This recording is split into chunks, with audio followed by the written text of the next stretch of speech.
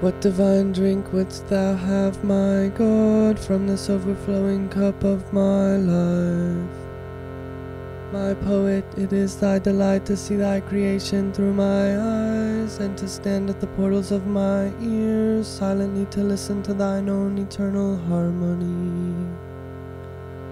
Thy world is weaving words in my mind, and thy joy is adding music to them. Thou givest thyself to me in love, and then feelest thine own entire sweetness in me.